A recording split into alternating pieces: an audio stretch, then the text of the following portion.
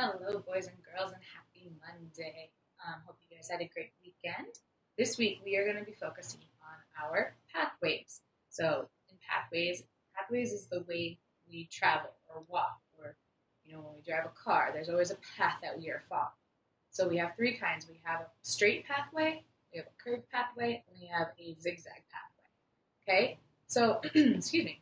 This week, what I did is we I created a little obstacle course slash um, pathway in my driveway. Now I know you can't really see it because the sun and the shade it makes it a little difficult. So what's going to happen is instead of a video on here, me talking and showing you, I'm actually going to record myself going through it. So you might not see my face, but you guys will hear my voice and you will see my feet.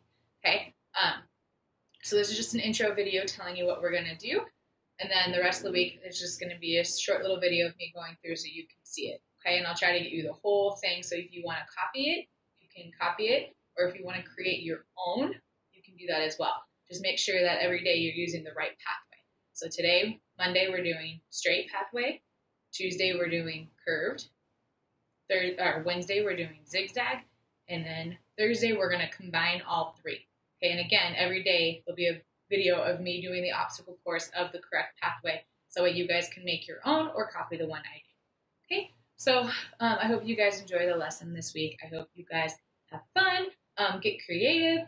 Again, if you want to add something or make it all your own, go for it. And if you want to send me a video of your of your obstacle course, I would love to see it.